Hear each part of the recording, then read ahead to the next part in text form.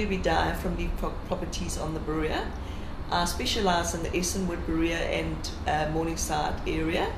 I'm absolutely delighted to have just acclaimed the sole mandate for this magnificent two bedroom flat, which has outstanding finishes. It's in pristine condition, absolute magnificent views, and I'm so excited to be working this property.